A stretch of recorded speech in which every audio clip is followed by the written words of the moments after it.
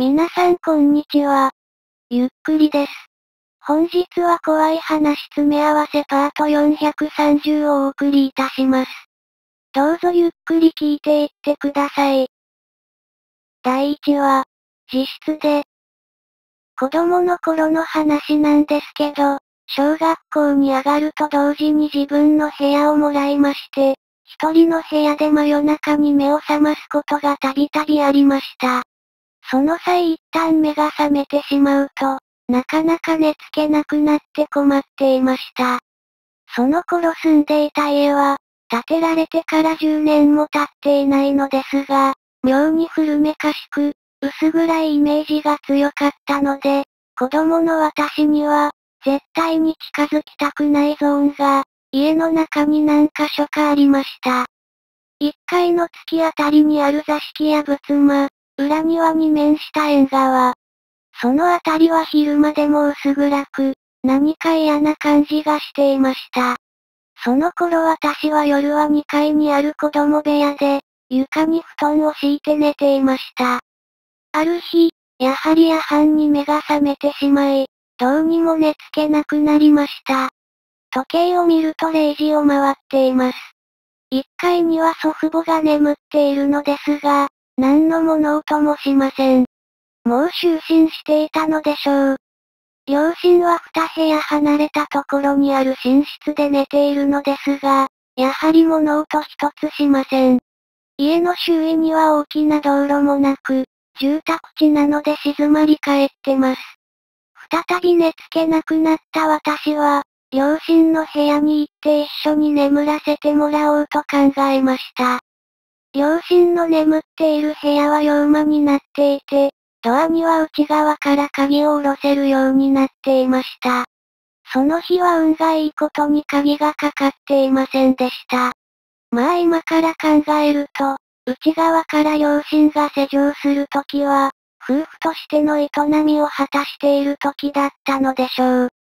当然子供の私にはそんな想像はつかなかったので、鍵がかかっている日は一人で寝なくちゃいけない日で、鍵がかかっていない日は、一緒に寝ていい日だと思い込んでいました。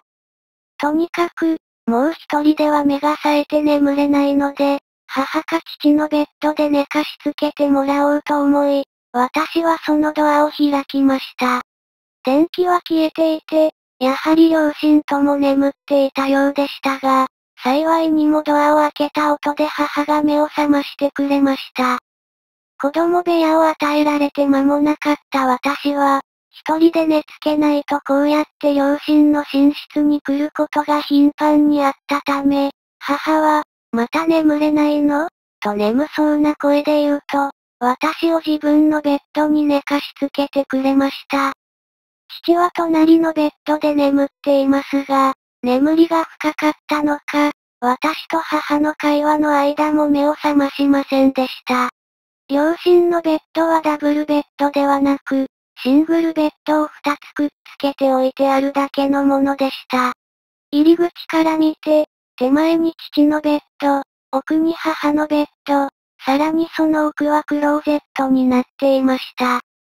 母は自分のベッドに私を寝かせ、狭いからお母さんが代わりにあなたの部屋で寝るよ、と言って、寝室を出ようとしました。私は何か言い知れぬ不安がぐんぐん込み上げてきていました。部屋の奥にあるクローゼットの方が、とても嫌な感じなのです。クローゼットといっても中はかなり広くなっていて、小部屋と言っても良いほどでした。扉は閉まっているのですが、何かそのあたりに息苦しいものを感じるのです。私は母に、しばらく隣で寝ていてほしいと懇願しましたが、母は、大丈夫よ、隣にお父さんが寝てるんだし、怖くないでしょ、と笑って、聞き入れてくれませんでした。母が寝室を出て行きドアを閉めます。その姿と、こちらに背を向けている父の寝姿が、同時に視界に入っています。ベッドの頭の方に窓があって、そこから街灯の明かりが室内に差し込んでいました。私は母の去ったドアと父の背中を見ながら、やはり眠れずにいました。ですがそれでも、隣にお父さんが寝てるんだし、といった母の言葉にやや安心して、クローゼットの方の嫌な感じは薄れていました。それでもなんとなく堅くなに父の背中から目が離せませんでした。やっぱりクローゼットの方に寝返りを打ったり、仰向けになったりするのが嫌でした。私は自然と左肩を下にして、クローゼットに背を向けていました。窓から差し込む光で、父のベッドの頭の方にある書棚が照らされていました。私はその書棚の中の雑誌の背表紙をじっと見たり、父の背中が時々呼吸で動くのを見たりしながら、自分がだんだんと安らいだ気持ちになっていくのがわかりました。これなら眠れそう。そう思いながら、雑誌の背表紙を見つめていた時です。自分の背中の方に、人の気配がありました。背を向けているクローゼットの方なんですが、もっと至近距離です。母のベッドは大人用の普通のシングルベッドなので、6歳の私が寝るにはもちろん大きいのです。左肩を下に、左隣で寝ている父の背を見つめながら寝ていたので、当然右半分はスペースが余っています。そこに何か、気配があるのです。最初は母かと思いました。というか、当然母以外に考えられなかったからです。自分は母の出て行ったドアの方をずっと見ていたので、母が部屋に戻ってきているわけはないのですが、なぜか猛烈に、母だと思い込みたくて仕方がありませんでした。しかし、絶対に母ではありません。一つしかないドアから母が部屋を出るのを見ているのです。もう一度入ってくるのを見てはいないのです。クローゼットのある部屋の奥は、クローゼットの中の小部屋で行き止まり。その向こうに入り口はありません。自分でも行けないとわかっているんですが、その気配を母だと思い込みたいと、私はクローゼットの方に寝返りを打ってしまいました。最初に目に入ったのは、浴衣のようなものでした。寝返りを打った目の前に、浴衣のようなものを着た人の膝があります。ベッドの上に誰かが正座をしているのです。あれはお母さんじゃない、と思ったことを覚えています。怖いというよりも、不自然だという気持ちの方が強かったと思います。じゃあ誰が、と純粋に疑問を感じました。母じゃないにしろ、誰か身内の人間。親戚のおばさんや開花で寝ている祖父母のどちらか、ではないのか、と考えました。そして、私は自然に顔を見上げてしまいました。その浴衣のようなものを着た人は、雰囲気で女の人だということがわかりました。ただ母よりも年上で祖母よりも年下に見えたのですが、影になっていて、左半分の顔がよく見えませんでした。私の方を見ているわけではなく、正座の状態でまっすぐ前方を見ているようでした。謎の人物の正体が明らかに知らないおばさんだったのと、状況の異質さで、初めて本格的に恐怖が込み上げ、私は全力で父の背中の方に向き直りました。幸い金縛りとかはなく、背後の気配もそのまま消えることもありませんでした。父の背中と書棚の雑誌の背表紙を交互に眺めて、なんとか恐怖を紛らわせました。逃げようとか声を上げようとかは考えられませんでした。しばらくして、明らかに気配が消えたことを感じました。それでも動けずに父の背中を見ているうちに、父が寝返りを打ち、うー、ん、と寝息を立ててくれたので、私は緊張が解けて安堵感に包まれ、そのまま眠りに落ちました。それから引っ越すまで、2階のその部屋にはほんの数回しか足を踏み入れていません。高校生になって初めてそのことを母に話しました。その頃は引っ越す直前で、まだ母はその部屋のそのベッドで寝起きしていたので、顔をしかめて、ゾッとすると言って不機嫌になりました。ちなみに母は私が体験したようなことはなかったようです。長くなって申し訳ありません。思いのほか手間取ってしまいました。以上です。第2話。書いてあった電話番号。たわいない話だが、それは2年くらい前のこと。ある駅のトイレに携帯の番号が書いてあった。それまでそういう落書きは無視していたのだが、なぜかその時は妙に好奇心が動かされて、ついついかけてしまった。しかも自分の携帯から非通知設定にもせず。で、内心女の子が出るかと何の根拠もなく思ってたのだが、予想に反して出たのは男。それも30歳くらいのサラリーマン風の、割と丁寧な声だった。はい、もしもし？あ。あのですね、トイレに落書きがあったんですよ。そちらの電話番号。本当ですか？えーと、もしかしたら誰かがいたずらで書いたのかもしれませんから、消しといた方がいいっすよ。あ、そうですか、ありがとうございます。では、ええー、その後、俺は電話したことを激しく後悔した。その夜のこと、携帯に伝言が入っていた。えーと、ですね。実は、あれは僕が書いたんです。よかったら一度、会いたいな。なんかノイズ混じりで気味が悪く、非常に聞き取りづらかった。気持ち悪くて放置したら以降連絡は来なくなったが、相手の声が冷静なサラリーマン風だっただけにすげえ怖かった。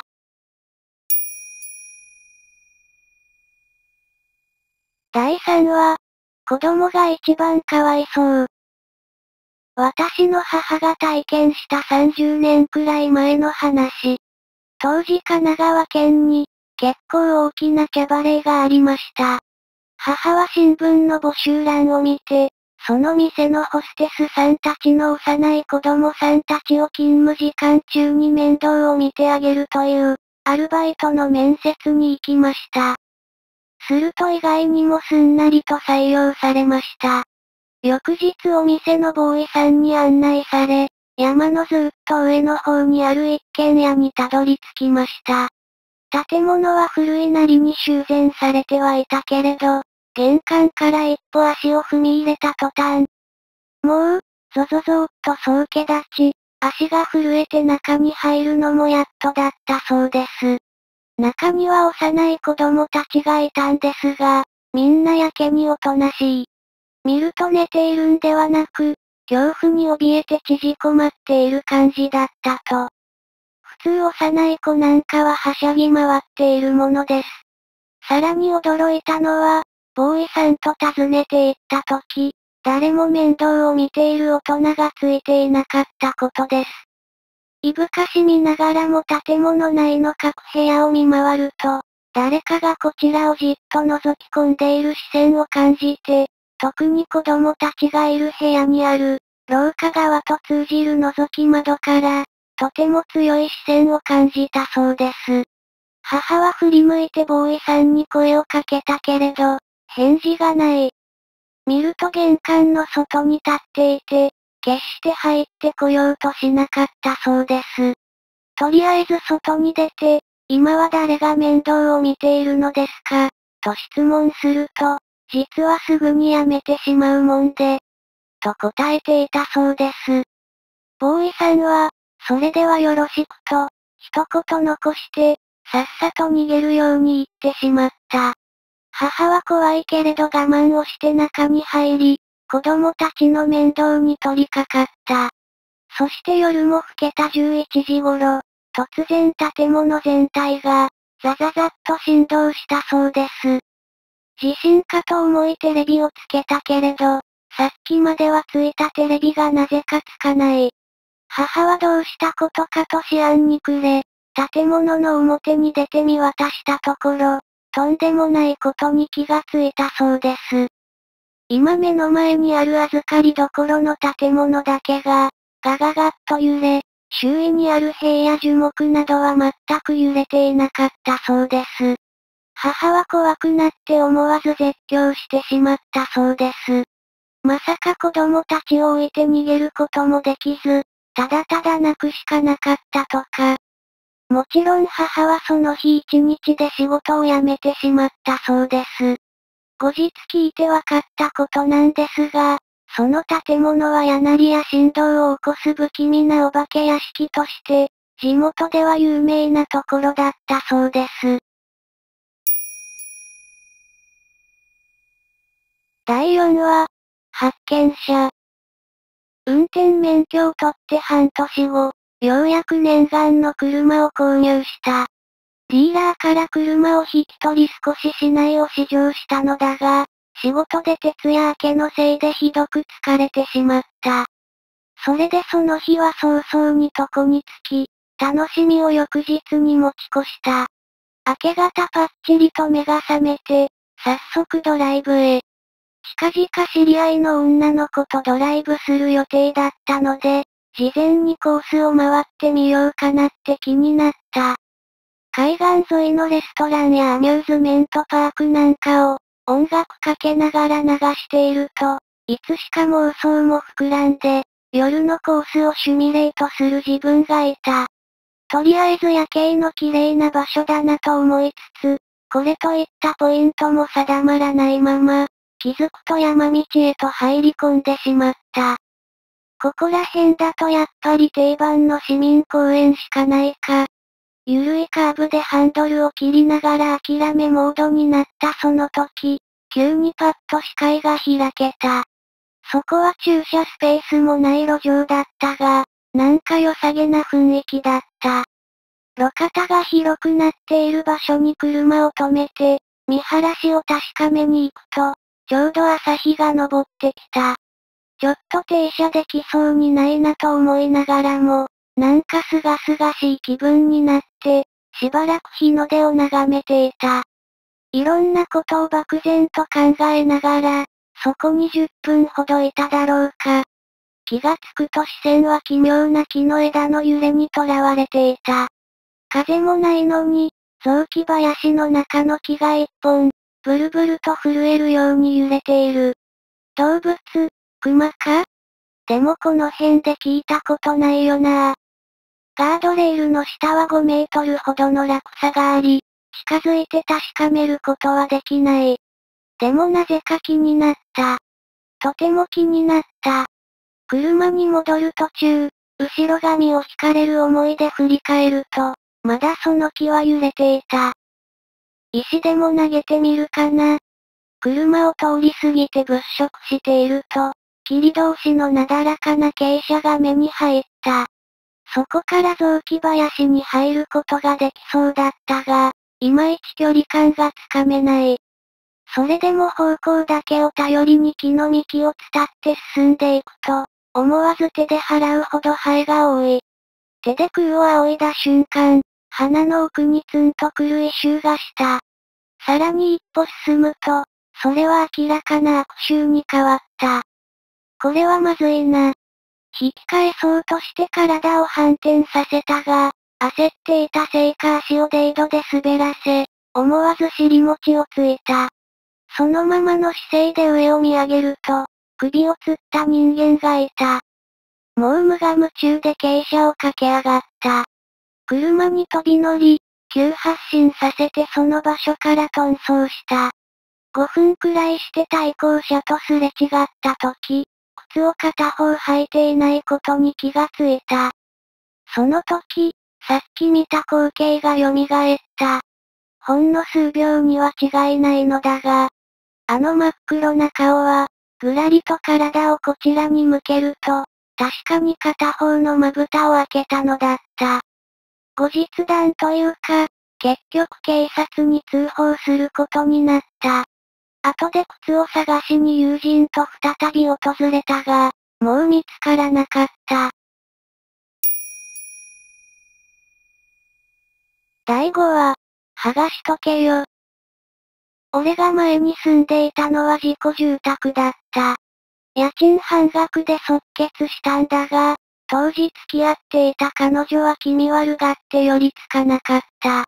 結局彼女とは自然消滅したんだが、連絡が来なくなる前に、彼女からどっかの神社のお札を渡された。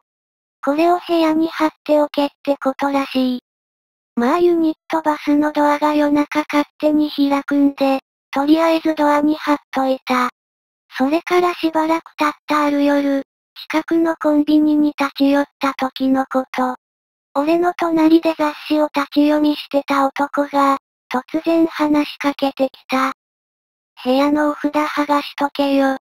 そいつは俺に向かってつぶやくようにそう言うと、何事もなかったように出て行った。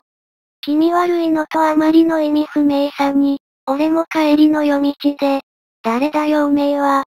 と独り言を言った。そんなでかい声じゃなかったんだが、俺の背後から声がした。呼んだか。ビビって振り返ると、そこには誰もいなかった。第6話、災難。これ10年くらい前に俺がフリーターやってた時のバイト先で聞いた話。まあそのバイトしてた会社の社員に降りかかった災難というか、実際見知った人だったのでかなり気の毒だったな。その人を仮に A さんとする。ある日、その A さん宅に小包が届けられた。全く知らない相手からだった。中身はベビードールっていうか、赤ちゃん大の人形。奥さんは何かの間違いかもと思ってそのままにしておいたのだが、3歳になる娘が勝手に開けてしまったそうだ。そして、何か一目で気に入ったらしく、奥さんが気づいた時には、もうその人形を抱きしめていたという。仕事から帰った A さんも送り主がわからなかったんだが、娘が痛く気に入っている様子を見て、不用意なのだがあえて確認はしなかったそうだ。そんなある真夜中、A さんは悪夢にうなされて目が覚めた。ああ夢かと思い当たりを見回すと、暗がりの中、人形を抱いた娘がじっと自分を見つめている。そんなことが2、3度続いたある夜、A さんは再び悪夢に見舞われ、息苦しくなって飛び起きた。また娘が人形を抱いて自分を見ている。さすがの A さんも、この時ばかりは薄気味悪さに我を忘れ、つい娘を怒鳴りつけたそうだ。何を見てるんだ。さっさと寝なさい。すると娘は A さんを睨みつけ、大人の女性の声で、てめえの寝顔見てるとムカつくんだよ。その時 A さんは、あの夢の脈絡をはっきり理解したという。女性の声に聞き覚えがあったからだ。A さんは傍らで寝ていた奥さんを起こし、人形の送り主の名前を問いただした。その名字は、A さんがずっと前に付き合っていた女性と同じだったのだ。しかし名前は違う。A さんが混乱する中、奥さんが悲鳴を上げた。娘の抱いていた人形が、まるで生きているかのように布団の上を張ってきたからだ。A さんは思わず人形の頭をわしづかみにすると、そのまま表に向かった。そして玄関近くにあったゴルフクラブを手に取った。A さんは渾身の力でクラブを人形に振り落とした。人形は手足がバラバラになり、原型をとどめぬほどになったそうだ。翌日、なんとか冷静さを取り戻した A さんは、あの人形の送り主に連絡したという。宅配便の用紙にあった住所に電話すると、ある施設に繋がった。事務員らしき女性に尋ねると、送り主は確かにいた。というか、過去にいたという。その方は1年ほど前に亡くなりました。A さんは思わず聞き返した。どんな亡くなり方をされたんでしょうか風をこじらせて、肺炎ですね。夢に出てきた女性は、まるで飛び降りた死体のような姿をしていた。奇妙に折れ曲がった体をして、血まみれの顔ですがりついてきた。彼女は、別れるくらいなら死んでやる、と言っていなかっただろうか。そして彼女は、A さんの子供を中絶したことを恨んでいた。ろくに仕事も手につかず、嫌な胸騒ぎがする中、A さんに緊急の連絡が入った。娘さんが交通事故に遭われたそうです。A さんの娘は道路に飛び出し、トラックにひかれたそうだ。もう随分昔の話だけど、A さんの娘さんのご冥福をお祈りします。第7話、夜の湘南で。俺がまだ高校生だった頃、清少の大磯の砂浜で釣りをしていた。夏になるとグラビアアイドルとか集めて、バカな騎馬戦なんぞをやってる、大磯ロングビーチってホテルの下の海岸だ。海は穏やかで、波の音も静かだった。当日は誰もいなくて、周囲は視界の果てまで人の姿が見えない。おまけに何も釣れなかった。そんな静まり返った中で俺は後ろのあちこちから突き刺すような視線を時々感じてはいたが、あの時は気のせいだと思っていた。その日はそのまま夜釣りを続けることにした。そしてだんだん日が暮れ、少しずつ暗くなってきた頃から、ささー、ささーという波の音に混じって、人の囁き声のような小さな音が聞こえ始めた。何を言っているのかは聞き取れなかったが、次第にその音は波の音よりも大きくなり、まるで大勢の人のざわめきのようだった。それと同時に、俺に向けられる鋭い視線のようなものの数が増えたように感じた。それでも俺はその時点でも釣りに夢中になっていたのだが、完全に夜の暗闇になった時、そのざわめきはより一層大きくなって、その時初めて恐怖が走った。もうその人々の声は、まるで開演前のコンサート会場のようだった。もう恐怖のあまり狂ったように逃げ帰った。地元のもんじゃない俺は、そこがどんなところなのか知らなかった。その昔この海岸は、明治から昭和40年代にかけて、真珠のメッカだったそうな。よく男女の死体が打ち上げられたという話だ。第8話、深夜の校舎で、今から20年前、小学校低学年の頃担任から、理科室の横の廊下に少年の幽霊が出るのだと、その慣れ初めから色々聞かされた。当時俺は可愛くないガキで、残念ながらそんな話は信じなかった。どうせガキを怖がらせようとした作り話だろうなぐらいにしか思わなかった。それから10年後、そんな話もすっかり忘れ、母校に忍び込んで、彼女と面白半分で肝試しをしていた。すると上の階の廊下から、上履きを引きずって歩く音がした。キュッキュッという独特の音。残業の先生にでも見つかったかと焦った俺だったが、上を見に行ってみると、誰もいなかった。ただずっと誰かに見られてる視線を感じた。しばらくして俺が咳をすると、上からも違う声で咳がした。同じ音なのだが、声の質が違った。どう聞いてもガキが真似てるような声で、試しにもう一度咳をすると、やはり帰ってくるのはガキの声だった。その時、俺の前に突然火の玉が現れた。そのことを彼女に知らせようと肩に手を触れた瞬間、それは消えてしまった。その時、昔先生が言っていたことを思い出した。文化祭を楽しみにしていた小3の男児が、校門の前でトラックにはねられ、それ以来、生前よく遊んでいた理科室横の廊下に少年が現れるのを、複数の用務員の人が見たと。その後、4つ上の先輩に聞くと、あの廊下の話だろ、有名だよ、と言われてしまった。あいつは俺が小学生の頃も、鬼ごっことかして遊んでたのを見ていたんだろうか。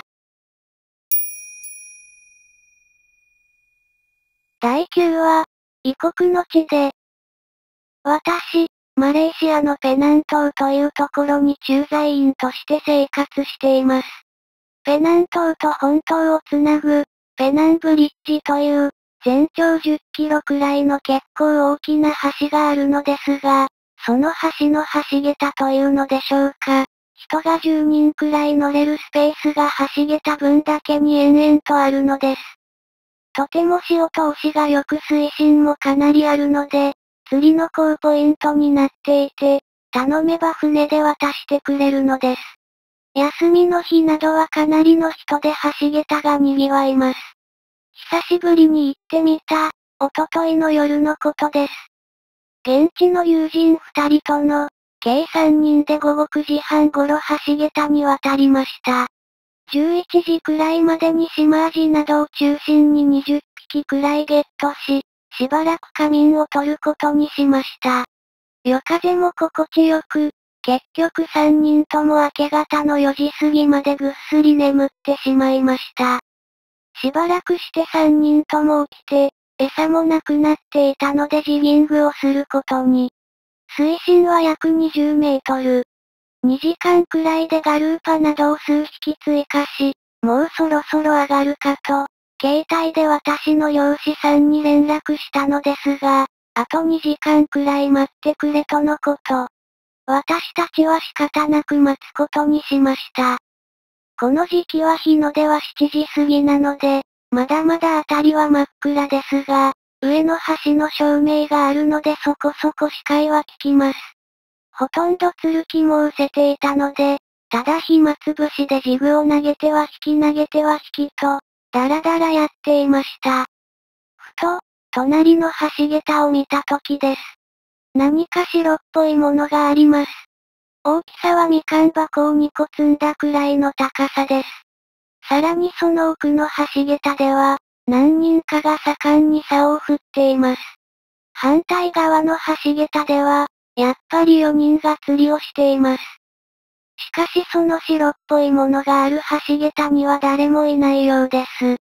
でもその時は特に気にも留めず、さらに数分ほどジグをいじってふと見ると、先ほどの白っぽいものがなくなっています。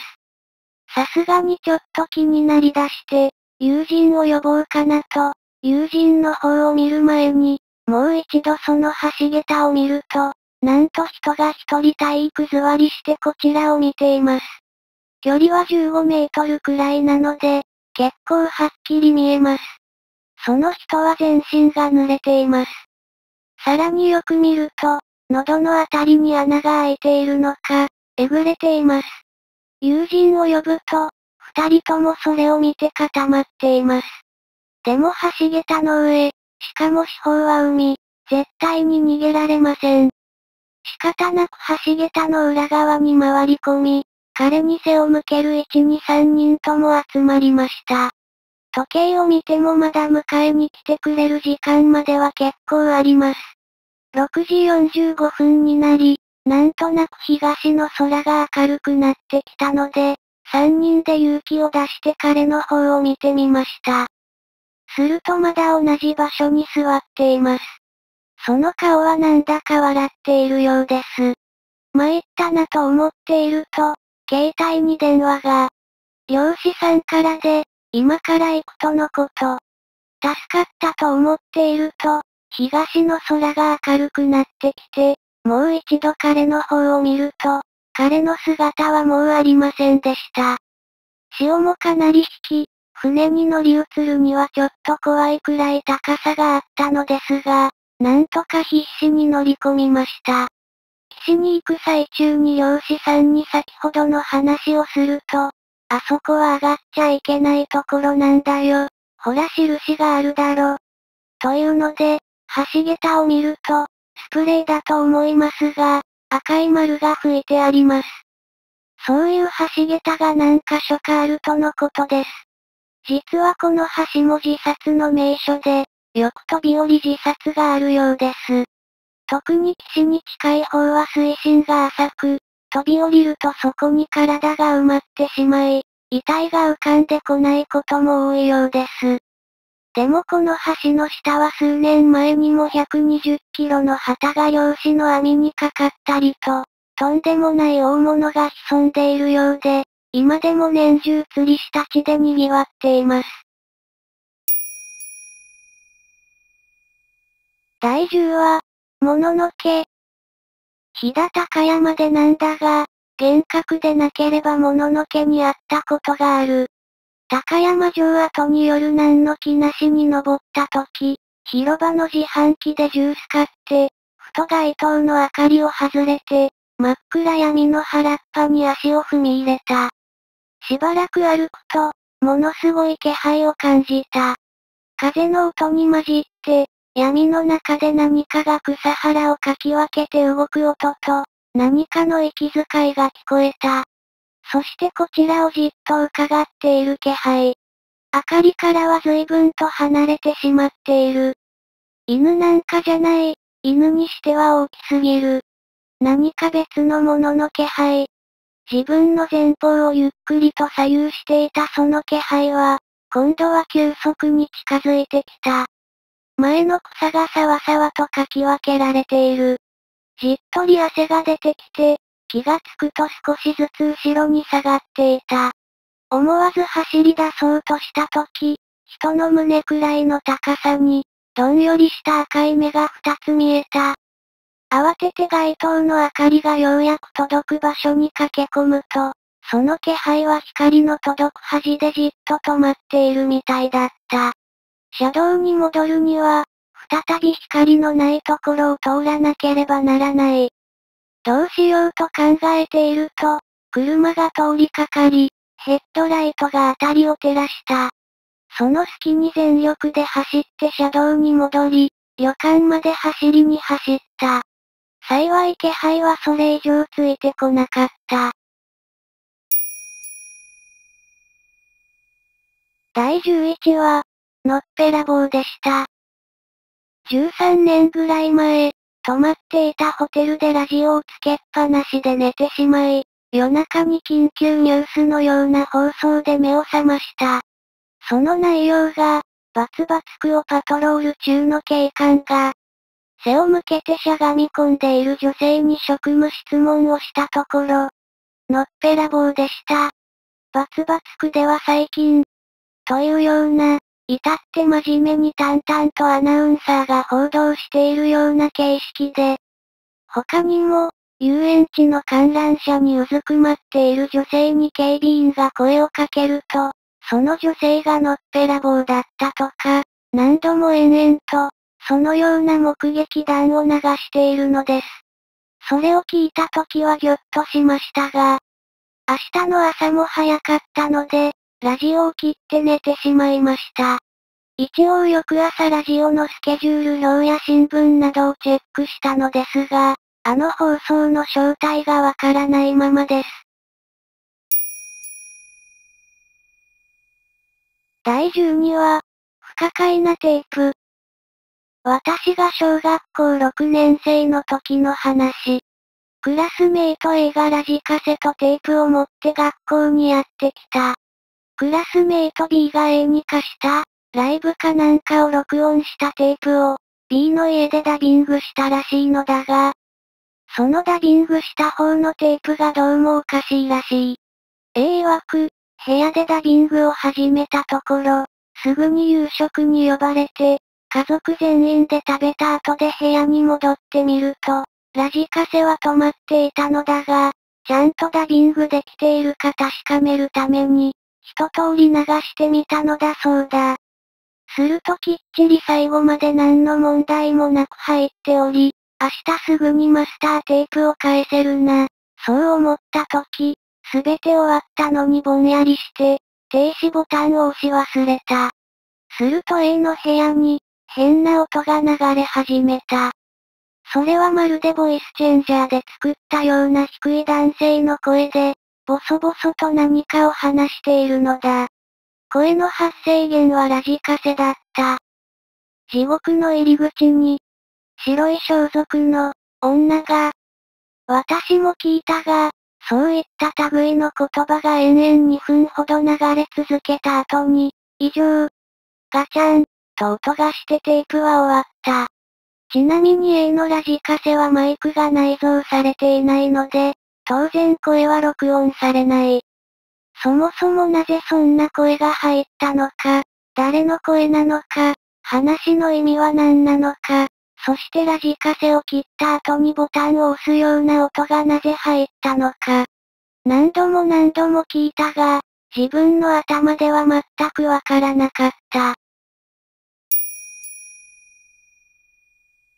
第13話、新設。友人と山に行った時のことだ。一休みするために降車して一服してたら、ボロい株に乗ったじいさんが、俺たちが今来た道を登ってきた。もちろんノーヘル。これまたボロい作業着と長靴といった様子は、一般的な田舎のじいさんっぽくも見えたが、顎ひげが妙に長かった。おはようございます。山菜採りか？いえ、仕事っすよ。親切な人で、山菜や熊情報とか色々教えてもらった後、俺らは沢を登り始め、じいさんはキノコを求めて林に入っていった。俺は登りながらふと考えた。途中車で株を抜いた記憶もないし、道端に止まってもなかったはず。枝分かれする道もなく、山肌へと続く道も、株が走れるほどの道ではないし。結論、あのじいさんは山の神様だったのかな。よそ者の様子を見に出てきたのかもしれない。目的を終えて車に戻った時には、株はもうなかった。帰りがけ、俺たちは林道の端に小さく祀られた石の神様に手を合わせてから帰路に着きました。第14話、帰省。低学年の頃、田んぼのど真ん中に神社があって、そこは地元で有名な心霊スポットだった。ある日近所のガキ5、6人で、そこに肝試しに行った。田んぼの中を神社へ向かって歩いてたら、まだ遠くにもかかわらず、とんでもない規制が聞こえてきた。うおーって、なんか牛と人間の中間みたいな声で、今でもはっきり覚えてる。後にも先にも聞いたことのないような、とっても低い声。そんで、その時はみんなまだ全然危機感なんてなくて、逆にテンションが上がっていったんだ。まだ明るい時間だったし、こっちは大人数だったから。俺はそのガキどもの中で一番小さい方だったんで、列の一番後ろにいて、先頭は俺の兄貴だった。それで、兄貴が神社に一歩足を踏み入れたんだ。そしたら、なんか不意に上を見上げた。何秒か見上げたまんましばらく止まってたんだけど、急に、あかんあかん、お前ら逃げろ、って叫んだ。へと思ったと同時に、またあの規制が聞こえてきた。それももっと大音量で。まあさっきより近いから当然なんだけど、それは神社の木の上から発せられてたんだ。俺はその時点でもう完全にパニック状態でビビってしまい、速攻一人で泣きながら家に帰った。ていうか気がついたら家だった。多分親に事情を話したと思うんだけど、とにかく今度は親に連れられてその場所に行った。兄貴がまだ帰ってこなかったからだと思うけど。そしたら、もう日も暮れてたんだけど、パトカーと救急車が来てたんだ。どうやらシンナー中毒の中学生が、木から落っこちて死んだらしくて、兄貴は青い顔で警官に話を聞かれてた。つまりあの声は、そのシンナー中毒者の声だったらしい。でもとても人間から発せられた声だとは、正直今でも信じられない。すげえ音がでかかったし、すごい重低音だった。それ以来、俺は霊なんかより狂った人間の方が断然怖い。第15話、板伝。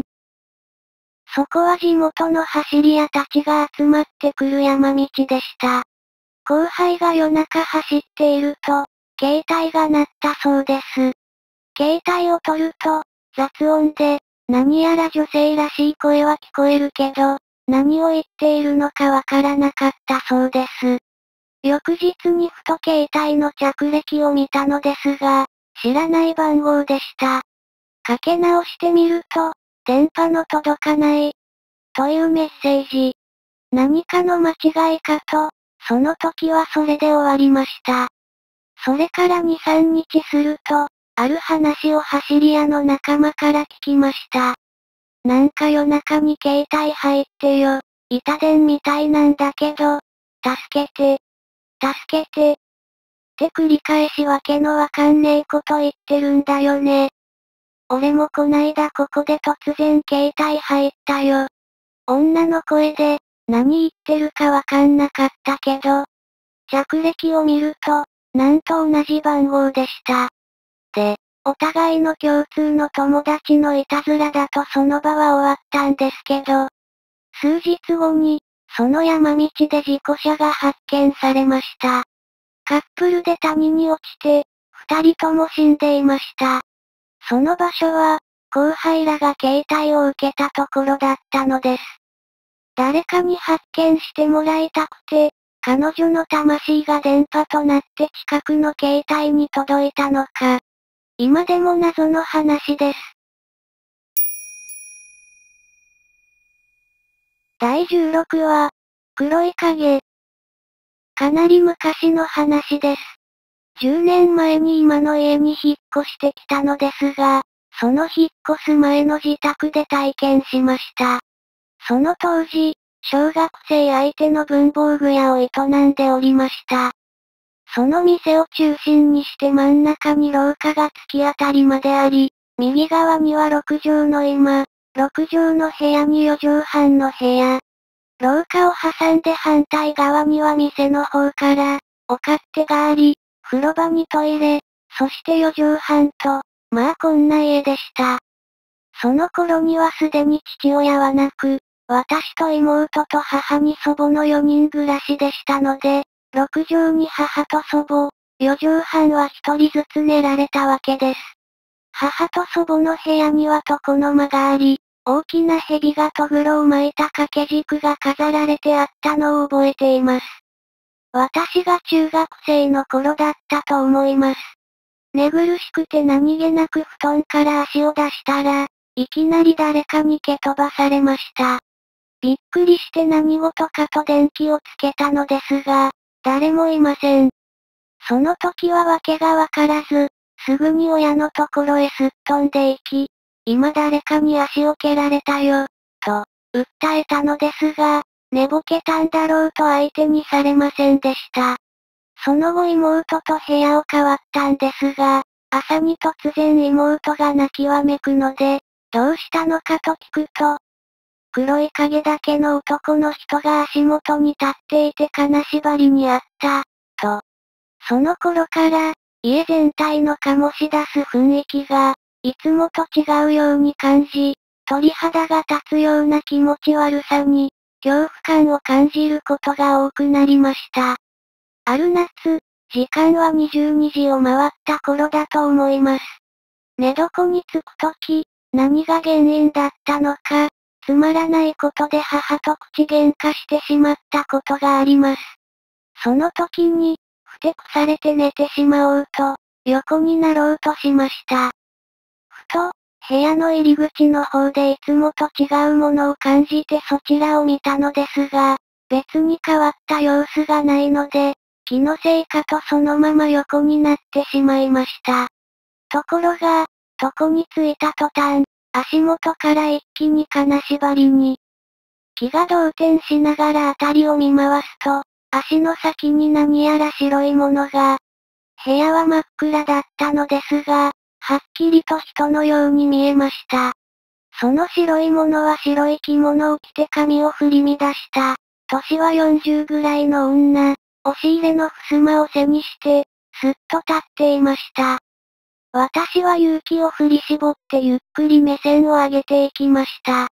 その女の顔は面長で、私を見据えるその鋭い視線。そう思った瞬間、目が合ってしまいました。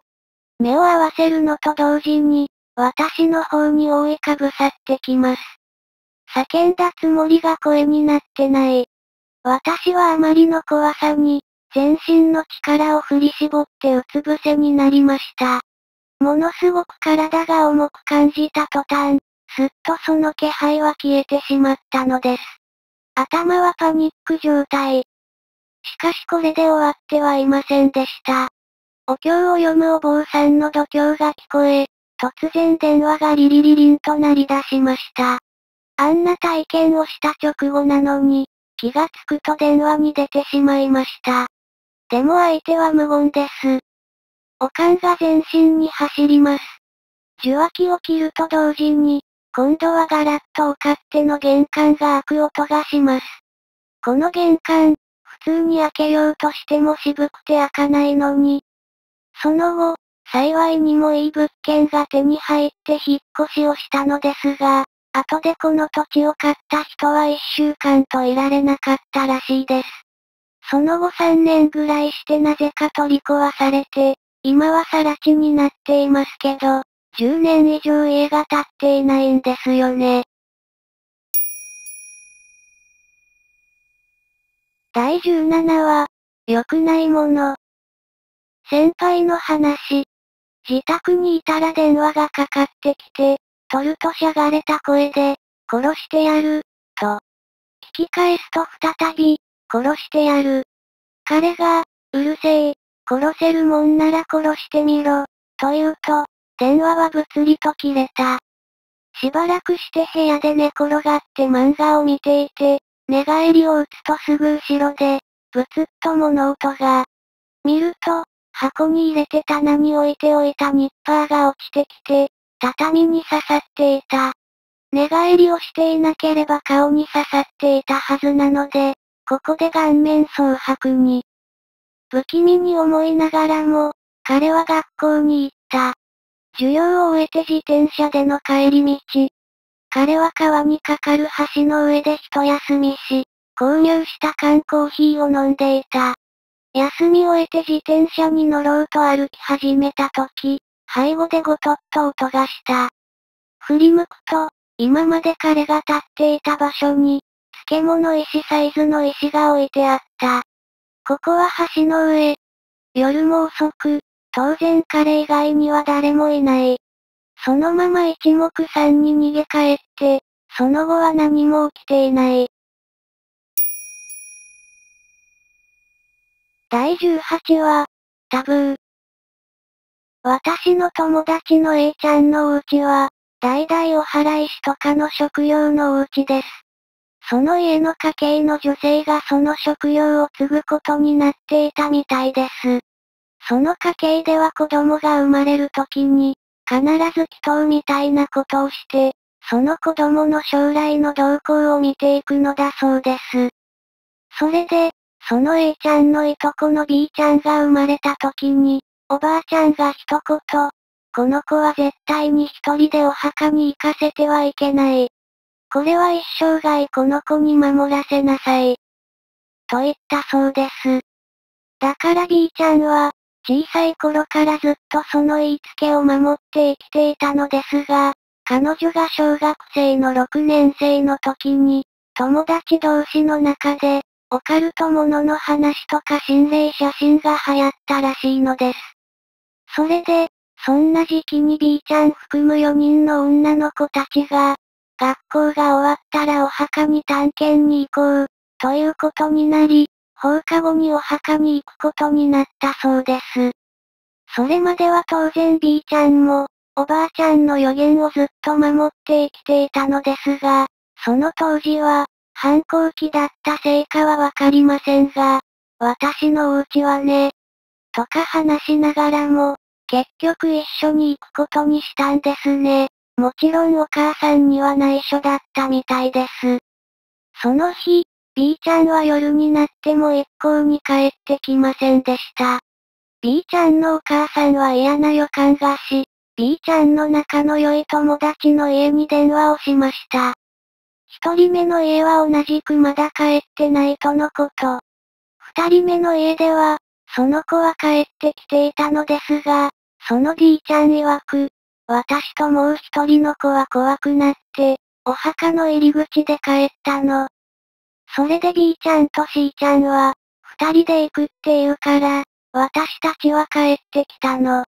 やっぱり怖くて、急いで B ちゃんの家の家族がそのお墓に向かってみると、B ちゃんと C ちゃんが土まみれで倒れていたそうです。手が、手が、と、上ごとみたいに何度も何度もつぶやいていたそうです。すぐにその子たち二人は救急車に乗せられて病院に向かったのですが、B ちゃんは下半身不随、C ちゃんは精神的な衰弱でした。B ちゃんの意識が完全に戻った時に話を聞いたら、気がついたら辺りがよく見えなくなって、お墓から手が出てきて中に引っ張られたの。C ちゃんは、首まで埋まってた。結局言いつけを守らなかった B ちゃんは、おばあちゃんの予言の通りになってしまったんだそうです。今も B ちゃんは生きていますが、下半身不随のままです。C ちゃんはその後、事故で左目がなくなりました。結局 B ちゃんは家を継ぐことができないそうです。B ちゃんの足には、強く掴まれたような手の跡が、桃のあたりにシミになって残っていました。第19話、白髪の紳士。ある年の2月大寒の頃、私はとある山付近で登山仲間数人と、写真の伸ばしや現像を泊まり込みで手伝っていましたが、仕事の都合上、私だけが深夜に帰ることになってしまいました。午前1時に表に出てみると、見事な月明かりに、沈黙の銀世界が広がっていました。気温はマイナス10度まで下がっており、歩くとキュッキュッと雪の閉まる音がして、車のドアハンドルに触ると、ピタッと張り付くほどの冷え込みでした。しばらくエンジンを温めてから車に乗り込んだのですが、乗り込むまで少し逡巡したのは、自宅まで40キロ以上もあるし、なんといっても真夜中に一人きりで車を走らせるのは、少し気が重かったからです。